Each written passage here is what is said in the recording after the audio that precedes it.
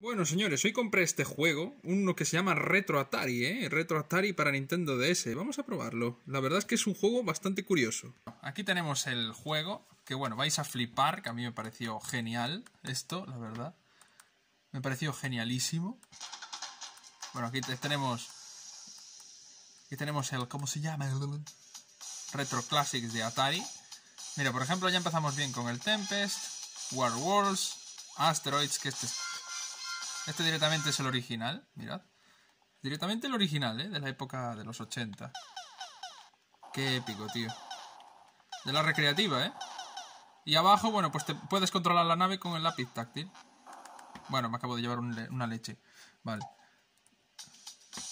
Vamos al siguiente. Tenemos el Breakout, que esto es un clásico. Un clasicazo de, de clasicazos. Vamos a ello, mira. Mira y vamos moviendo la pala con el lápiz táctil. La verdad es que es una pasada, tío. Este juego a mí me encanta. Bueno, es un juego que, añado a mi colección de cartuchos sueltos, que la verdad me alegra porque yo adoro la historia de Atari, adoro todo el legado que dejó Atari para los juegos que tenemos hoy día. Y bueno, vamos a ir a uno de mis favoritos. Bueno, Centípede, por Dios. Esto es una joya de joyas, tío.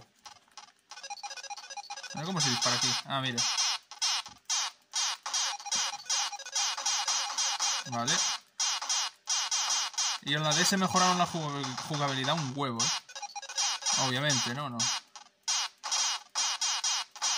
Va, chulísimo, tío. Uno de esos recopilatorios que a mí siempre me gusta tener en, una colección, ¿vale? Pues. Y, uno de mis favoritos. Vale, tenemos Lunar Lander, tenemos Missile Command, pero tenemos este. Por favor, tenía que enseñar el Pong. Mirad esto, ¿eh?